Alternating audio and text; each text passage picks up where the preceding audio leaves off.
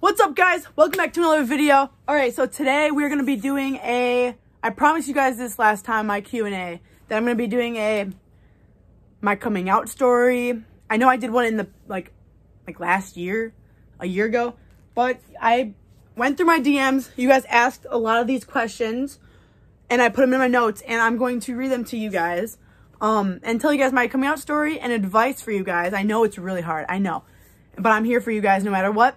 Um, so yeah, let's get right into the video of my coming out story. Let's go. All right, so number one, like, what is my coming out story? And yeah, how did I fully come out of the closet? So, oh my gosh. My coming out story, let's go all the way back. It was my sophomore year all right. And I'm sitting there and my girlfriend just left. And so my girlfriend at the time just left my house. We were in my room right here. And my mom, I text my mom, I'm like freaking out because like I actually like this girl and like I didn't know what the feeling was at the time. And I, I was a freshman. I think, no, it was freshman year. Yeah. So I'm like crying my eyes out. I'm literally bawling my eyes out because I don't know what I'm, I don't know what the heck I was doing. I don't know, I don't know anything about being gay or anything because I never thought about that at all. And then like me and my girlfriend at the time hung out behind, well, we were dating behind my parents' back and behind everyone's back because no one knew that I was gay. So, so I, I'm crying on the ground. I'm laying on the ground right here, bawling my eyes. I'm literally laying on the ground because I have nothing. I'm so like just upset because I don't know what to do. I had no idea what to do. So I get on my phone and I'm like, Mom, I think I like girls. And I, I don't know why. Like, I think I like girls. I don't know why. I don't know what the heck is going on. And she texts me. She's like, okay, like, want me to come down? Like, she was perfectly fine. She seemed like everything was normal. Like, yeah, that's how it should be with parents, but everything was fine. I worked myself up and then we go on the couch right over there. I literally see the couch right there. We go on the couch and I'm freaking out. I'm literally hysterically crying and I'm showing her all this stuff that me and my girlfriend at the time had together. Um, showed her all like notes, all these, all these stuff and just telling her how much like I, I think I'm like gay. I like girls and she fully accepts it. Her uncle's gay. So she told me stories about that. And I overthought so much to the point where I didn't come out for a couple of years because like I didn't know. Like, I didn't know how my parents were going to react. I didn't know how my friends and family were going to react because I was so scared. The most anxiety I've ever had was that, the, that moment. Like, freshman, sophomore year was the most scariest years of my life because I had no idea how people were going to rea react and respond to it because, like, I was the only one in the school that was, like, openly gay at the time. Not the only one. What was that? What? Did I just break my bed? Bro, I think I just broke my bed. Okay, I'm like, but yeah, I was like the only one in my grade that was like openly gay now. Well, not, I wasn't out to my friends at all yet. I'm not gonna, okay, I'm not gonna get out of order. So, I came out to my mom. And then I, I, so we're dating for a while. A year passes. It's sophomore year. May of my sophomore year. I'm not with that girl still. I'm with another person. Um, me and her like best friends now. It's, it's, it's completely fine. So me and this one girl, I'm at her house and I come home and then I, my mom knows, my mom knows everything. So I come home and I go downstairs, whatever, like she lives like an hour away, which in le lesbian time is not that long. It's actually really like, it's like a neighbor. But I come home, I walk downstairs, my dad comes down and he's like, so you like her, right, bud? Taps me on the shoulder, hey, like joking, hey, you like her, right? Not, not joking, but like, kind of like, you like her, right? Right? And I'm like, what? And he's like, come on, man. Like, I know, come on. Like, he knew. I feel like that happens in families. Like, when you're, when you are gay, when you have a gay or, gay or lesbian daughter, the parents know. Like, homophobic or not, I think they all know. And my dad knew. He knows me so well that he just knew because I, like, I've grown up, like, you guys maybe have seen, like, pictures or videos. I was literally a tomboy. I was the definition of a tomboy. So then that happened. And then after my dad, a couple weeks later, I post on Instagram of a picture of me and my girlfriend at the time. and oh my gosh, that was the scariest moment of my life. Guys, I swear I've never been that scared to post anything before in my life. So I had my dad post it for me. I was ready to come out to my friends. My friends had no idea besides a few close friends that came to me and asked me if I was gay. And I was like, oh gosh, yeah, well, yeah. I thought they were going to take, guys, trust me. I thought my worst fear was that they weren't going to let me like have sleepovers with them because I'm a friend person. Like I love hanging out with my friends. I go to my friend's house every single day. I sleep over every single weekend, every single, I, I'm just a friendly person and I like having fun with my friends. And I thought they were completely going to turn on me.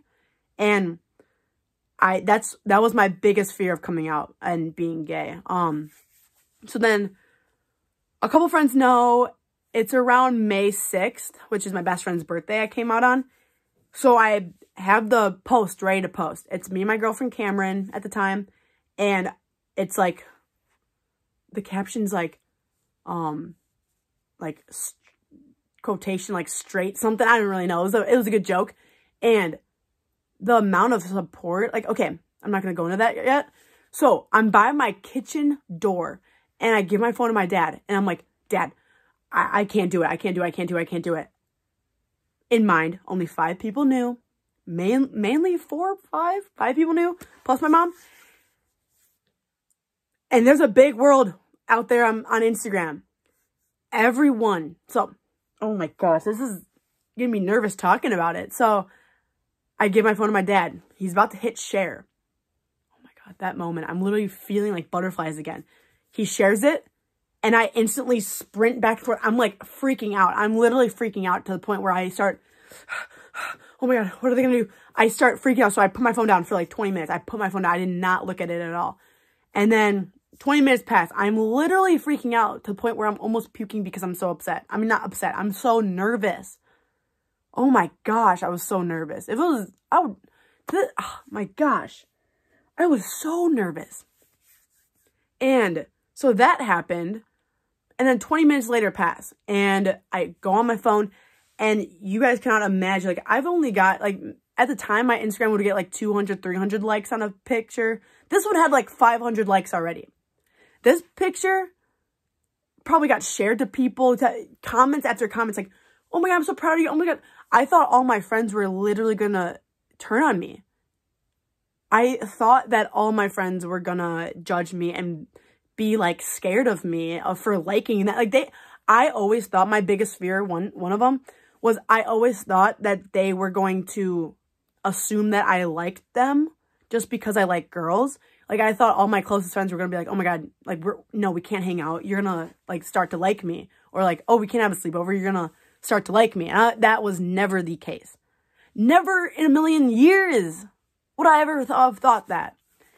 So, back to the story. I post it, whatever. It's up. I'm freaking out still. My anxiety, the next day, it was a Sunday. The next day was Monday, going to school. I think I was antisocial for a good week. David, my, my friend David said. Actually, we were talking about this today. I was, yeah, I didn't talk at all after I came out because I was so nervous. To, oh my gosh. I wish, I wish I could tell you guys how scared I was, but you know, it really gives you strength to come out. And if anyone ever needs help, I'm here. So I go to school. It's all fine. Like, they don't treat me any different. And I'm so blessed to this day that they don't judge me about it. I that was once again that was my biggest fear. And I'm so thankful that they don't think of anything different. You know what I mean? Like I I'm so glad that they still let me come over, have sleepovers. Like they didn't change at all. My whole head was my thoughts were bigger than my whole entire head. Like at that at that point, I was like, "Oh my god, they're not going to let me do any they're, they're not going to even want to hang out with me. I'm I'm going to be weird." No, that was completely wrong of me to even think. So you overthink a lot when you aren't out. And once you come out, weight off the shoulders. That's what I'm talking about. Weight off the shoulders. And it's the best feeling. I, I cannot explain it on camera. Like, I'm sorry. But if you guys ever need, like, if you guys ever come out, that's probably the best feeling in the world. I'm, I'm dead serious. Better than drinking water at 3 a.m. chugging water. It's better than that feeling. And I, that, oh my gosh, I cannot stress enough. But yeah, holy crap. Time flies. And being out publicly now and like on my Instagram and all these platforms, it is the best feeling to help people out. It really is inspiring to see other people's story. And I love inspiring people about my story because I was, I was in your guys' shoes. I used to watch gay YouTubers, lesbian YouTubers, um, Cheyenne Lundy, Corinne and Skylar, and Connor Franta, how all them come came out. And I was like, I want to be like that. Like, I want to help people out. But I wasn't even out at the time. I was like, I want to be like that. I want to have that much confidence on camera. I want to, I want to have a coming out video. And boom, here it is. My coming out video. But trust me, guys, I've been in your guys' shoes. I know what it feels like. I, every single person who has to come out knows what it feels like. I was on the ground crying my eyes out. I was crying so much. Like, I can't believe that. I can't believe that that came to this. I am so confident to this day about sexuality, about anyone who needs advice. Come to me. I am here. I'm trying to answer all these questions on a video so you guys can just watch this video if you guys ever need. But trust me, I was that girl crying behind a phone, watching other YouTubers come out. I was that girl on the ground crying to my mom, to my friends. I was so scared. The level of anxiety walking around the school knowing I was gay and no one knew. The level of anxiety went from coming home and hanging out with my friend who was actually my girlfriend. That, and now being able to post about my girlfriend, like Nina, being able to live life and go to all these pride fests and stuff, all that anxiety and fear from two three years ago is worth it. Now this feeling, that crying is worth this feeling. Promise you guys. I wouldn't be myself if I didn't have to go through that. I wouldn't be, you know, inspira- inspiring if I didn't go through that, I don't think. I've learned so much from this little two years span of time I've been out.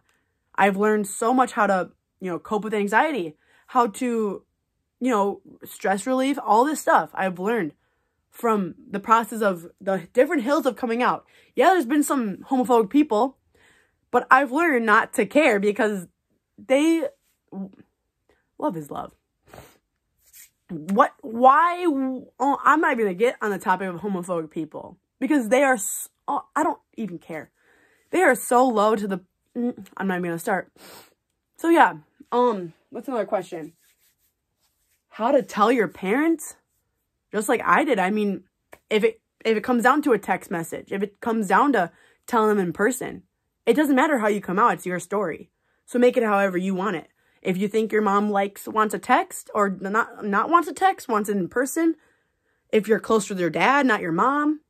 If your mom, you know, if you guys have, if you want to tell your grandparents first, your aunt, your uncle, your friend, your teacher, an inspiring person, me, tell me, tell your friends. Um, starts out, start out by one, then goes to a couple, and then boom, you'll have a community. Advice, advice on a new gay just live life. You know, it's fun. You have no more stress. You have no more anxiety about it, about coming out. Just have fun. Just, it's fun. Go to all these Pride Fest. It's fun. That was my video of my coming out story and advice. If anyone wants to hit up my Instagram, follow me right here. And I'm going to leave this up for a second for me talking. Okay. So definitely, here's my uh, at. If anyone, and I mean anyone, needs help coming out, to parents, homophobic parents, anything. I will be here for you. And I salute to that. Okay. Thank you for watching. And I hope you guys have a great day and night or wherever you guys are. Subscribe down below. Hit this, hit this. Wherever it says subscribe, subscribe. Let's get to 20K. I've been saying that for a while. 20K is a benchmark. But yeah, click this video right here. Let's go watch this video right here. Come on, click it. But I love you guys so much. Uh, I hope everyone has a great day. Bye, guys.